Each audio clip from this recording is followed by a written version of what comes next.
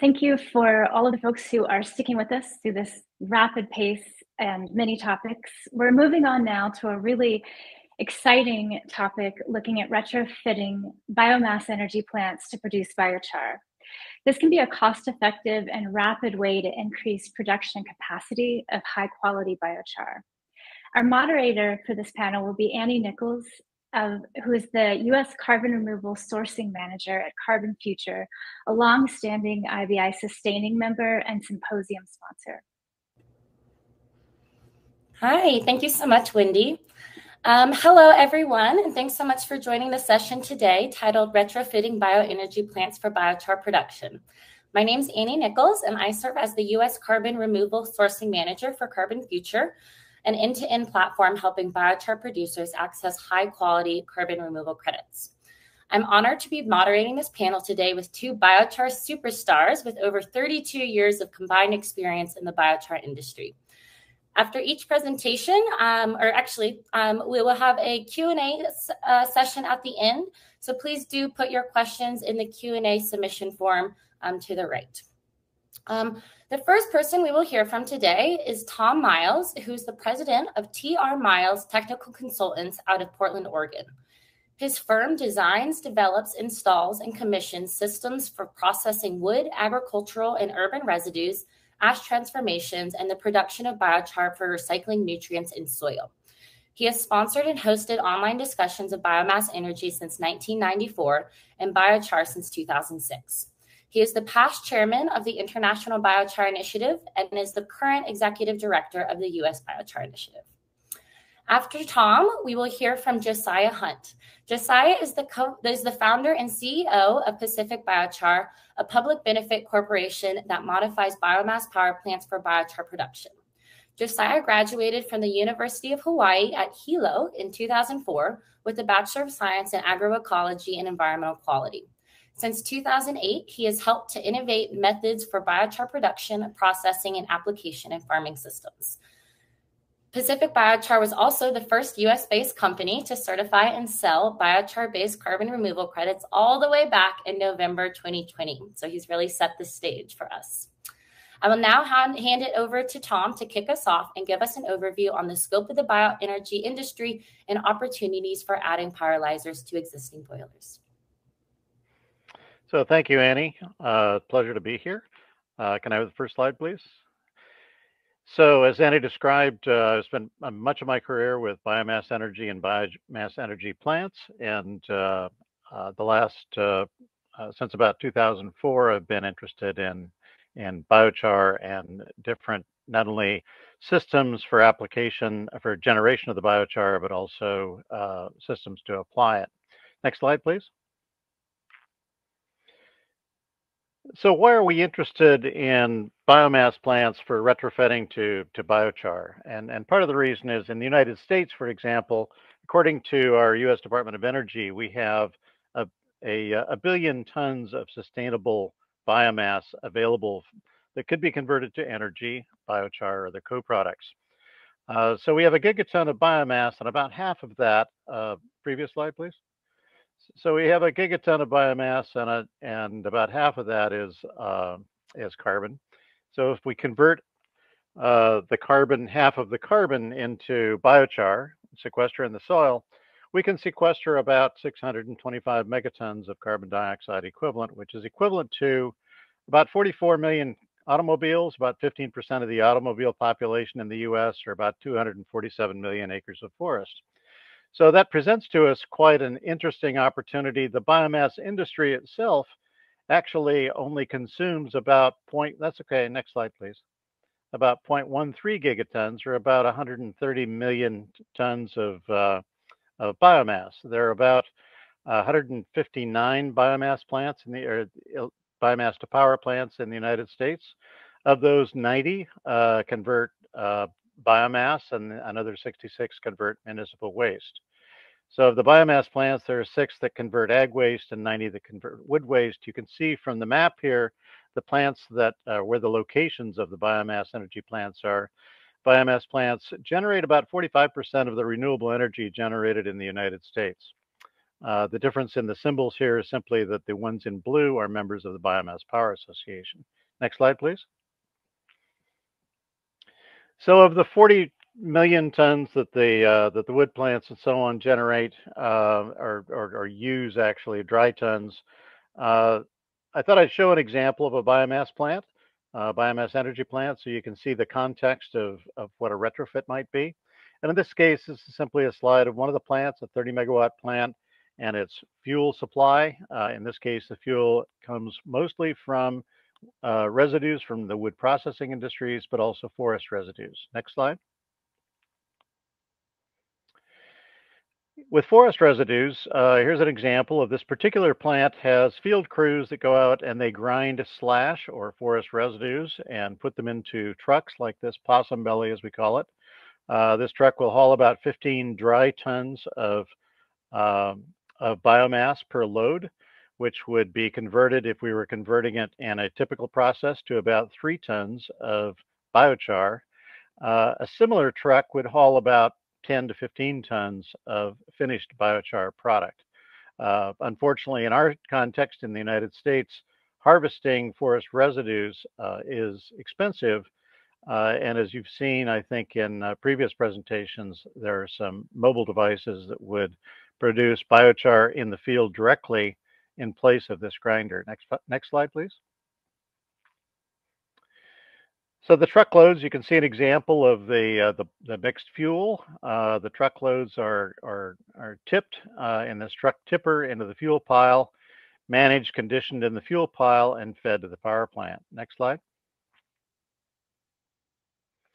This particular power plant is a 30 megawatt plant. Uh, consumes roughly about 30 to 35 dry tons per hour of energy, producing about 10 cubic yards of biochar per hour, about a ton per hour. Uh, next slide. And here's the turbine. Uh, as it says here, it takes about 1.1 bone dry tons of clean wood to generate one megawatt hour of electricity. Uh, this particular plant, uh, 30 megawatt plant, uh, probably serves and generates enough electricity for about 25, 25 26,000 homes. Next slide.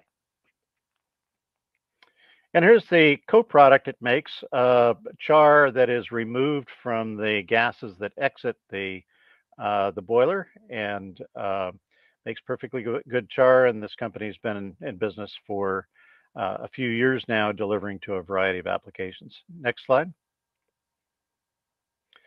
So here's how it works, uh, recovering char from the boiler. Uh, in this schematically, this is a boiler. Very similar to one of the power plants on the left-hand side. But uh, the biomass is burned in a furnace, and out of the hot furnace, uh, as you feed fine wood particles in, some of the particles don't completely burn out in the furnace, and they wind up being carried by the combustion gases following the arrows through the what we call the convection sections, where the hot gas is converted to steam, um, and the gas then uh, uh, once it exits the boiler, goes through and, and preheats air that is used in combustion. And then it goes through a separator that we call a cyclone or multiclone. And that multiclone will take particles that are down to about 10 microns in size. Uh, and these particular particles in this first cut are relatively rich in carbon, from 60 to 80% carbon. And so this is the char that we can remove from existing power plants. Now, typically this char is is sent back to the boiler to be reburned um, so that the operator can make a choice as to whether to separate this char and, and sell it as biochar or uh, reburn it and generate uh, electricity by converting that carbon uh, to steam and going through the steam turbine. Uh, but there are there are investments involved in doing this, and so uh, it's a uh, a decision as to whether to recover this char or not, and Josiah, who will speak next, will show us examples of how that is done. The gas then, once most of the carbon is removed, continues to what's called the electrostatic precipitator that takes the uh, mineral components of the ash, that's the gray ash that you see uh, from, a, from a power plant. So next slide, please.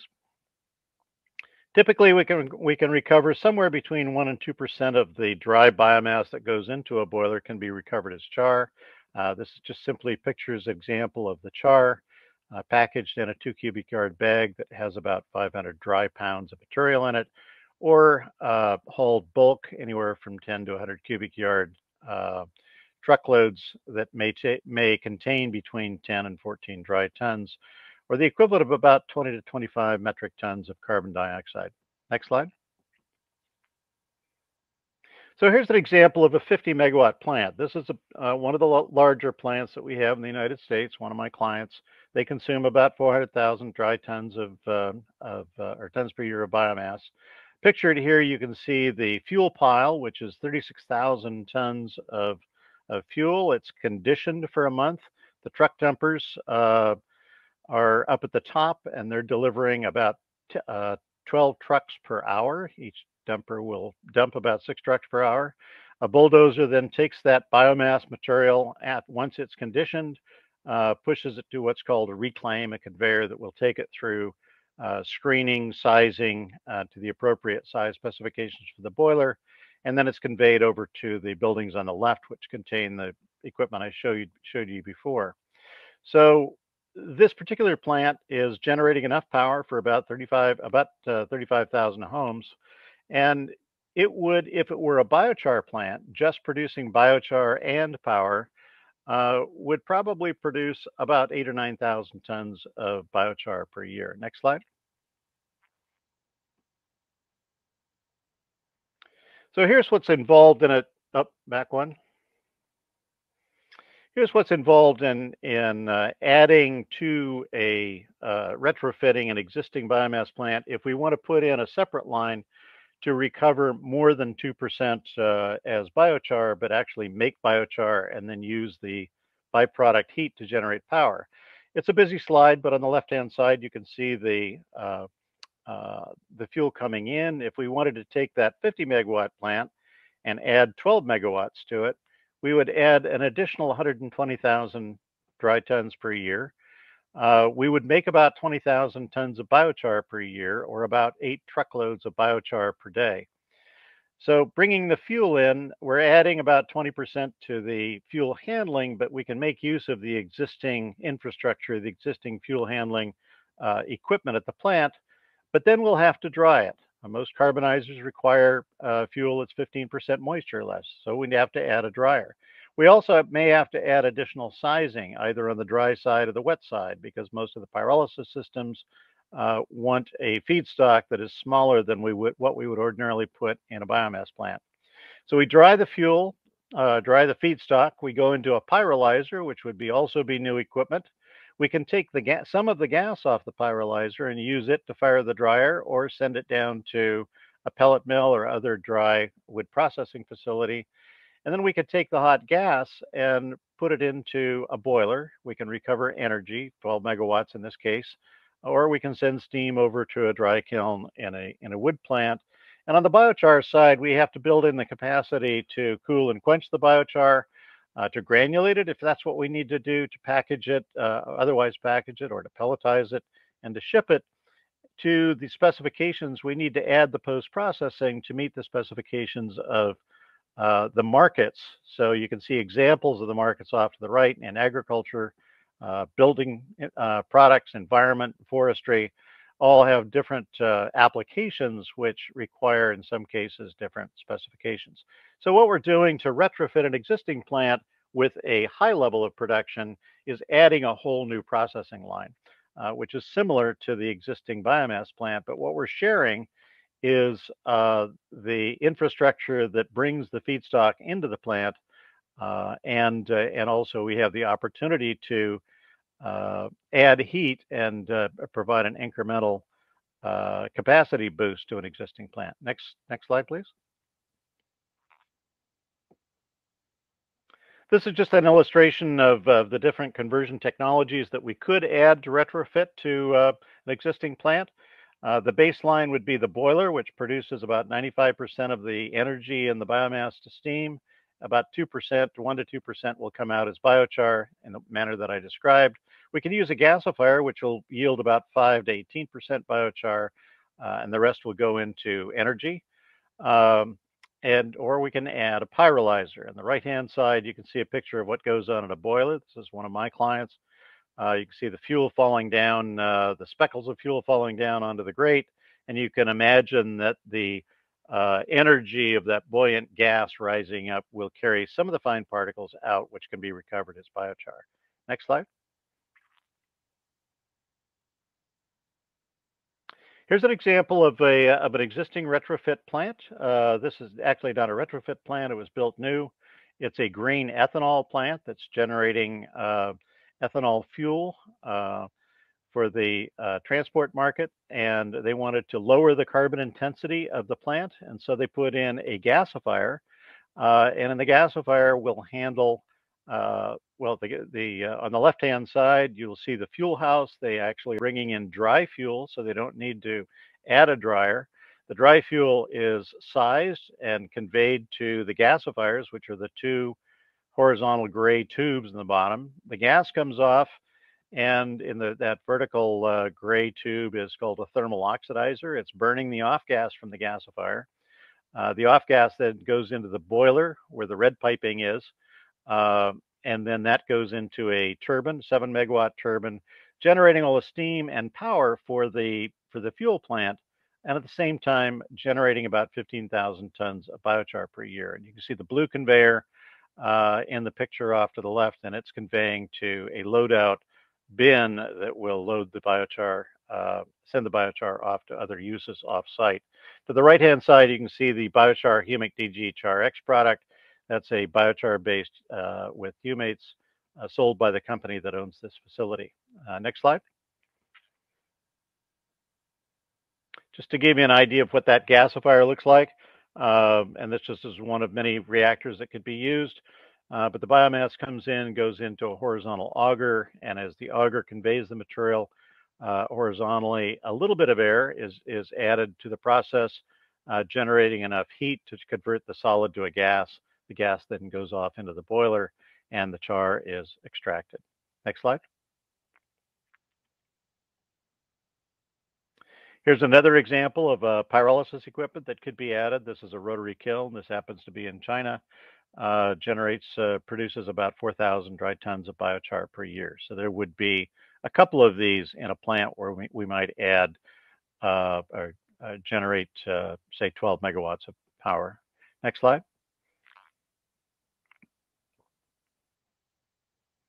Here's an example of other reactors. These happen to be used, uh, they're pictured in, in biosolids plants, but it's the same components. On the left-hand side, you have the dryer, uh, previous slide. Maybe advancing automatically or something. Previous, yeah, there you go. Uh, so on the left-hand side, you have the feedstock dryer, uh, and then the, the dry material goes over to the darker green machine, which in this case is the pyrolyzer. And in the right-hand side, uh, uh, there are con uh, also continuous processes, uh, BOW, Pyreg, Eco-Remedy, we have a number of companies and a number of options now for converting the uh, material to biochar at the industrial scale. And this is just a, oh, that's okay. Next slide. So this is just a selection of industrial scale systems that could go in alongside existing power plants. On the left-hand side, you have the one I've described at the grain ethanol plant. Uh, the, the next one is uh, restoration fuels. It's torrefaction and biochar process uh, as well as Airex. They produce a biochar product. Uh, Frontline uh, Bioenergy has a unique uh, autothermal pyrolysis um, system that produces a variety of products. Char Technologies on the far right is a rotary kiln like the one I showed from China. So we have a number of a number of uh, potential processes that uh, can be used for retrofit. And I will pass it along to Josiah, who will describe how he recovers biochar from biomass plants in practice.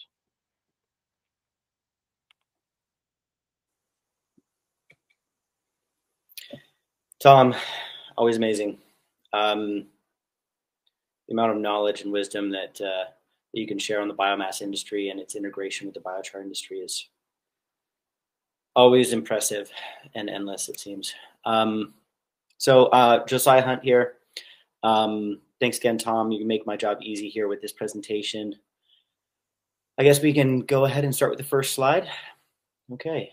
Um, So Pacific Biochar, um, to sequester carbon and leave a legacy of fertile soil. That's that's our company mission.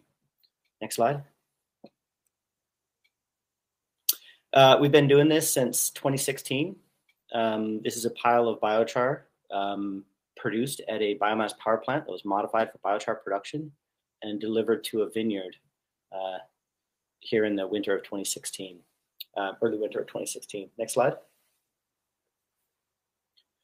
Um, so this is one of the biomass power plants that we've modified for biochar production.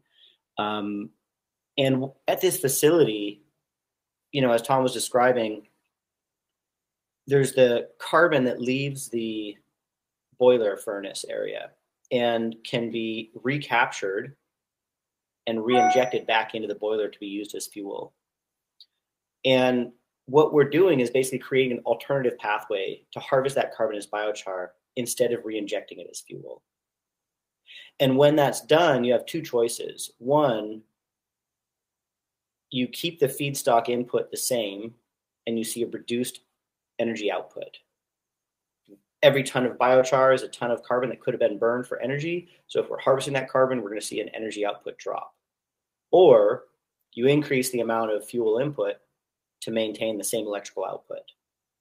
And in all situations that we've worked with, maintaining the uh, maintaining the electrical output is is critical um, and valuable. And so the pathway chosen is to increase the fuel input.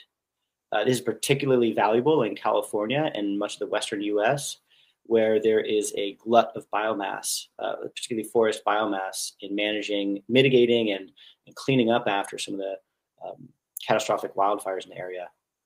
So this increased throughput of biomass um, is a benefit as well. Next slide, please. Uh, after the biochar is produced, it's pretty simple. We can just load this in standard trucks. This is a, uh, a live bottom belted trailer here, shipping on regular roads. Doesn't need anything fancy in this area. Next slide. A lot of our biochar lands at compost yards before going out to the field. We are co-located, some of our primary processing facilities are co-located at compost yards using shared equipment. Um, and there are also many synergies uh, with biochar and compost uh, for the end use. Next slide. Ultimately, most all of our biochar is going out to the fields. Um, this is a vineyard that we've been working with for about seven years now. And we have six years, uh, greater than six years now, actually, of, of field trials um, robust field trials showing that biochar has been able to provide them with um, a significant return on their biochar investment. Um, and, and this kind of groundwork, pun intended, um, really helps make it possible to deploy large amounts of biochar.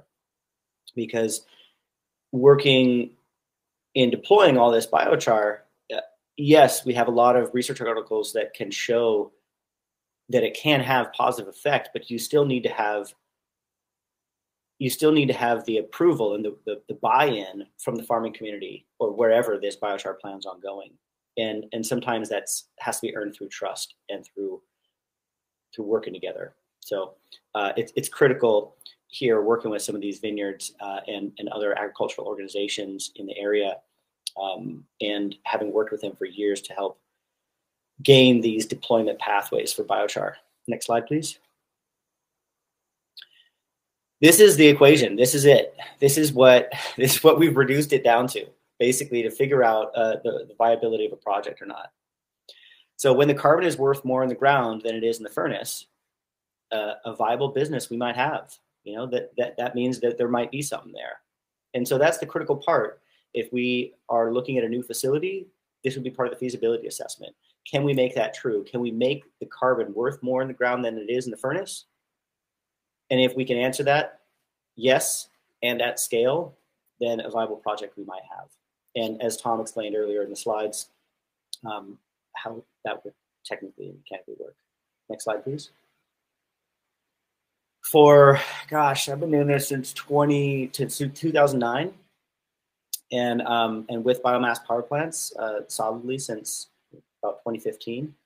Um, until 2020, until the very tail end of 2020, we had to do that on ag sales alone, um, which we survived, but barely. It was a meager uh, existence uh, at that, where the, the entire value, we had to make that equation true. We had to make the carbon worth more in the ground than it is in the furnace based purely on the willingness of farmers and others in the agriculture and horticultural in- industries to purchase biochar. Um, and we survived, but meagerly. Next slide, please. Now the game has changed.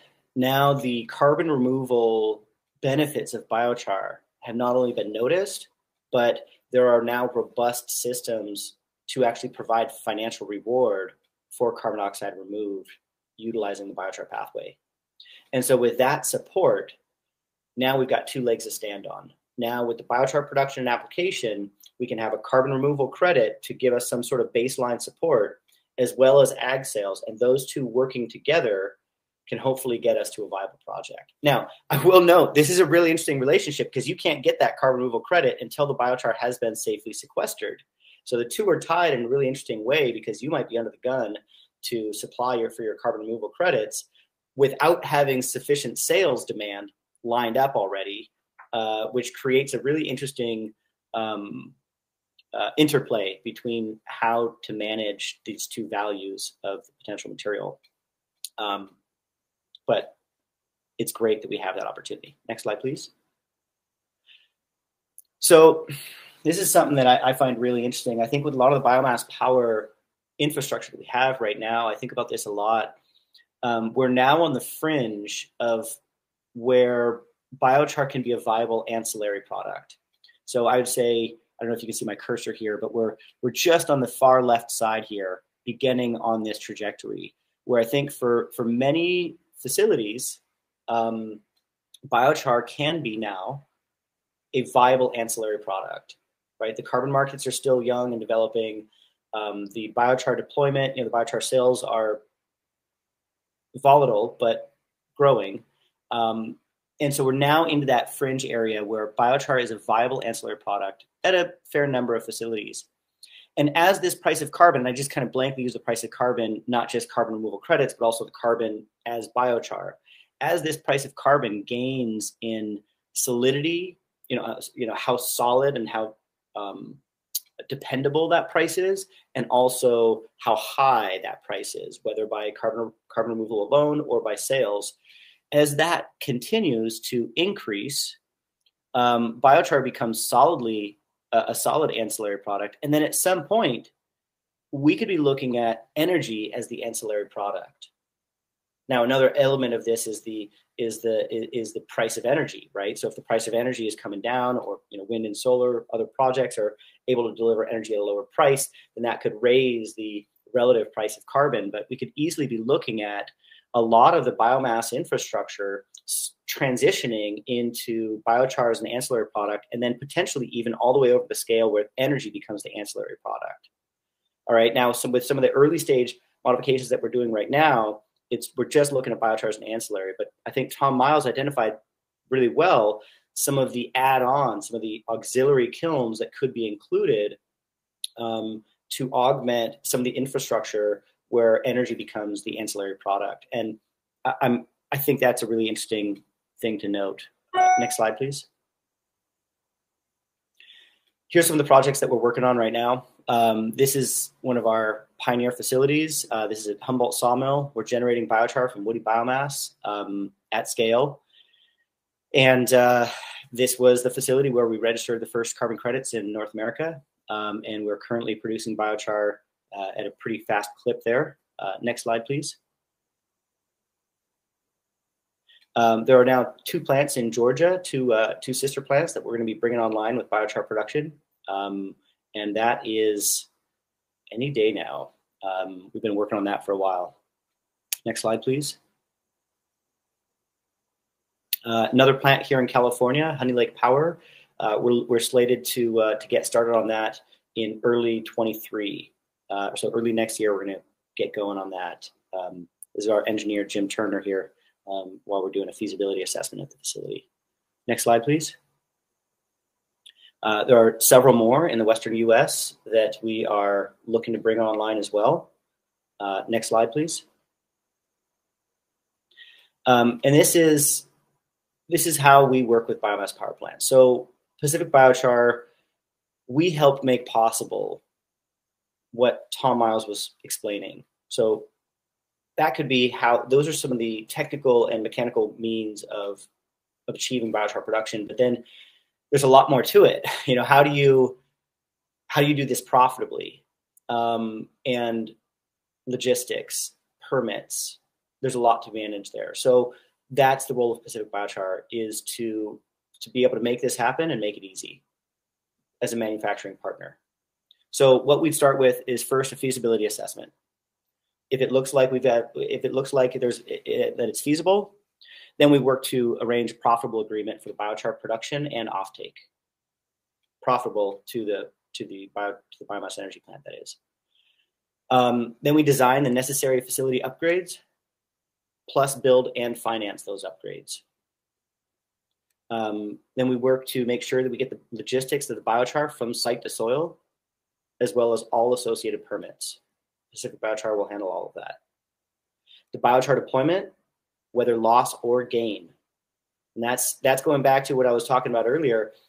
You have this funny interplay between the carbon removal credits and the biochar sales, where the carbon removal credits they want to see massive scaling and they want to see fast, and they got to have their quarterly commitments. But the biochar sales are spotty and seasonal, um, where we might have seasons where it's really hard to move material because maybe just because of weather. Um, and then other times you have crop failures within the region that really tighten the belt of local organizations, you know, local farming organizations that would normally buy it, and now they're in a really hard position where they might not have that cash on hand to be making that kind of investment. So the biochar deployment, whether loss or gain, that's for us to figure out, and we will guarantee a profitable agreement and a, and a, and a guaranteed offtake for all these materials. The carbon credit registration and optimization, so not just getting the facility and the biochar registered, but optimizing that process to get the best value as well as the uh, the daily accounting and reporting that goes on with that. Every truck, the weights, all the details of that. Carbon credit sales and related contracts. Um, we can be the face of and negotiate the carbon credit sales and all those related contracts, um, as well as providing a liability um, safety wall for all that. And then serving as a point of contact and public relations for all biochar deployment and carbon credit exposure. So there's a lot going on in like if you if a facility wants to begin producing biochar all the permits regulations sales logistics and all of that and while some organizations might be um, ready to take that on themselves others might not be excited about doing that and that's where pacific biochar comes in we can make all this possible we can help make the whole thing possible so in short we make the carbon worth more in the ground than it is in the furnace and we make it easy for you um, so that's how that's how one one example of a service, uh, a manufacturing partner service that can be offered in space. Uh, next slide, please. We do this with uh, a relatively small team uh, at the moment. Myself, CEO, uh, young and ambitious uh, Charlie McIntosh, the products manager, helps make everything move, makes it move on time. Um, Michael Fallon, attorney at law, handles our legal and finance. Uh, and then Jim Turner with 35 years experience in the biomass power industry as our lead engineer, um, helping make sure that all needs are met and, and uh, manufacturing installations go smooth. And that's about it. Uh, I can help answer any questions later. Um, next slide. Yep, that's it. All right. Thank you so much.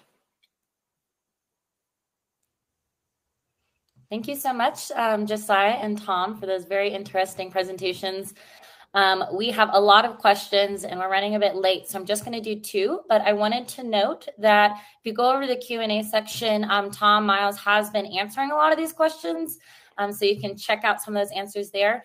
And then Tom and Josiah will also be in the lounge um, in the room associated with this session. So you can talk to them privately or in a group session after this and ask more of these questions. Um, but the first one I wanted to ask um, was what is the quality of the char coming out of these um, plants? And does it, you know, what are the characteristics, quality, and could it pass a certification like the European Biochar certificate? And I might hand it to Josiah first. I know this is mm-hmm. something mm-hmm. we talk about all the time, um, like every week. Um, so I'll, I'll hand it over there. Yes and no.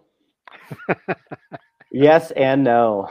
It is uh, yes, it can, and no, it does not. Uh, are both true. Uh, are, are, would both be accurate answers. Um, yeah. So it's it's uh, it, it, it depends, I guess. So that that that's something that it, it, it can definitely be some of the clean some of the cleanest char I've seen actually. It, it can definitely be a very high quality product, but it's not necessarily a given that it will be such a high product. There has to be some uh, quality control and management, active management to ensure quality. Mm-hmm. I guess the way I'd answer that uh, is that both is I'd echo the yes and no, and the and the no depends on the feedstock that's being used and the design of the particular facility, the boiler, and the way it's operated. Uh, and so we see uh, some of the chars uh, that have higher ash contents uh, and so require a certain amount of post processing. So the quality can vary. I think one of the, the, the assumptions a lot of people make is that this is going to be pretty tarry, junky stuff. And in most cases, it's pretty clean from the tar point of view uh, because it's become slightly oxidized. So we do have plants, uh, as Josiah has shown, that make good quality good quality material, and people like Josiah are necessary for ensuring the the biochar quality. Thank you. Um, I'm going to shove two questions in one here. Um, and that is how many of these plants currently exist that have been retrofitted, um, bioenergy plants that have been retrofitted to um, to produce biochar? And what is typically the cost of that um, to, to do that retrofitting? Maybe I'll shoot it over to Tom first, and then we'll go to Josiah.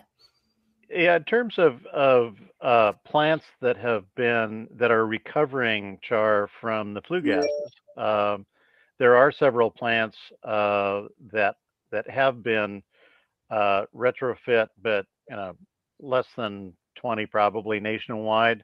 Uh, we see them in a couple of areas. We see them in the out here in the west where we have more biomass facilities, and we see uh, char recovered from wood processing facilities, from industry, and so on, as well as power plants in the southeast where you have a high concentration of wood processing. There's almost nothing being recovered right now in the northeast of the United States. Um, and and that's that's an area where, there, where there's a, a lot of opportunity because there's a there's a good market.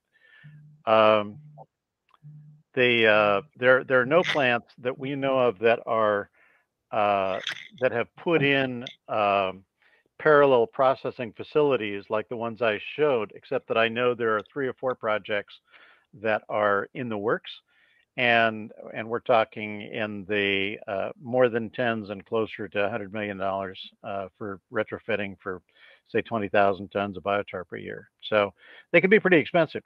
Uh, we we think there's opportunity for a lot a number of smaller facilities that might be in the five or 10 million dollar range.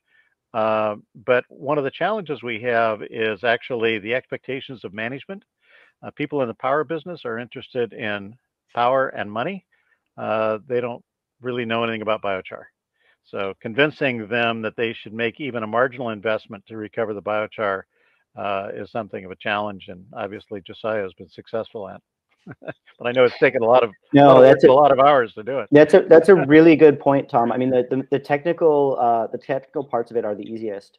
Um, it's it's really there's a lot to to do to convince because it's I mean, operating one of these biomass power plants, it's like I don't know, I don't know how you guys do it. I mean, it's like driving a spaceship. I mean, it, there's so many like the control boards are immense, and and you've got like these electrical panels that it's, it's like this scary zone, like don't touch anything, and uh, yeah, it's it's it's really, I think, stressful and um, and critical to even operate one of these things and to consider complicating the process with some little biochar thing that's like what is this fairy dust?